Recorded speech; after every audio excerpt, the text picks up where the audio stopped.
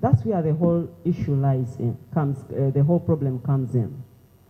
And we shouldn't blame so much, but where are we coming from as women, especially on the African continent?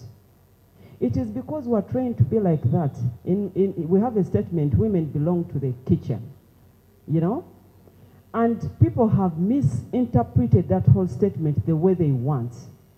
To an extent that even when these, some of the, uh, the songs that come out, people teach even through songs, you know?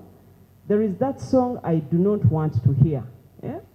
Something of that kind. One of the main reasons why most of the girls dropped out of school and probably they got pregnant during this period, it was because of the long period of the lockdown. And some and one of and some of the reasons is because um, some of their parents could not afford, you know, when schools even reopened, some of the some of their parents could not afford to, you know, pay their school fees so that they get back to school. And this historical injustice has existed for centuries. The women have always been neglected in the past. I think they are trying to rise to the man's, to the boy child's standing, if I'm to put it that way, because over the years, a boy child has been trained to be strong. They have been allocated and they have been always reminded that they must be strong. But if we target one group, the other one will not make it.